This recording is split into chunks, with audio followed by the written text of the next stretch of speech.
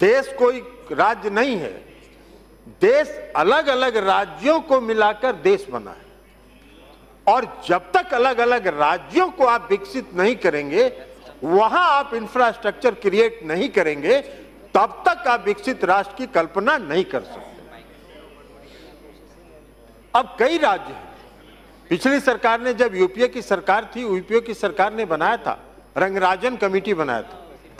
Rangarajan committee ने चिन्हित किया और चिन्हित करके कई पिछड़े राज्यों को उन्होंने बताया कि ये राज्य हैं जो पिछड़े राज्य और जब तक इन राज्यों को विकसित नहीं किया जाएगा, तब तक आप विकसित राष्ट्र की कल्पना नहीं कर सकते।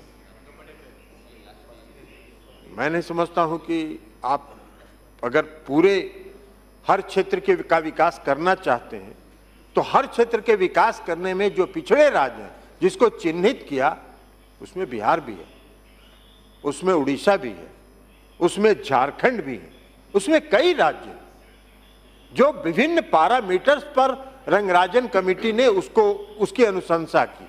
आप उसको भी जरा एक बार देखिए और देख के जो पिछड़े राज्य हैं, जो पिछड़े प्रदेश हैं, उनको विकसित करने के लिए उस पर विशेष ध्यान केंद्रित करिए तभी आप विकसित राष्ट्र की कल्पना कर सकते हैं। और मैं इसके तहत मांग करूँगा कि बिहार की विधानसभाओं ने सर्वसम्मति से प्रस्ताव करके बराबर केंद्र को भेजा है कि बिहार को विशेष पैकेज मिल, मिलना चाहिए बिहार को विशेष राज्य दर्जा मिलना चाहिए।